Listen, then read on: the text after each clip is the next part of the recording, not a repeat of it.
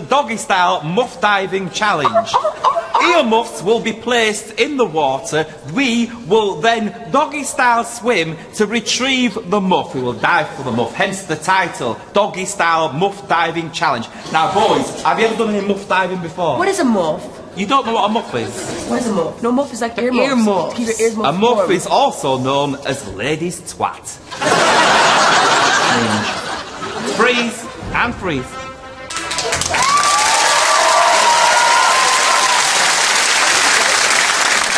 So, Holly's team, who do you think won the muff diving challenge? Who was the better muff diver?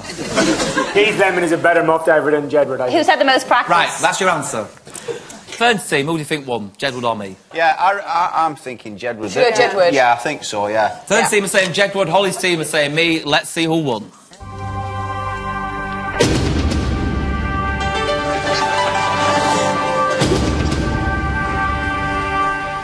Hi, here we are in the pool. You can see we're um, John's going to be throwing in the muffs, and we will um, doggy paddle towards the muff.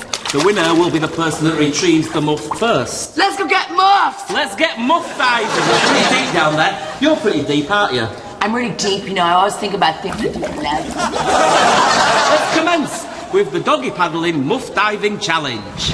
Okay, you ready? On three. Three. Wait.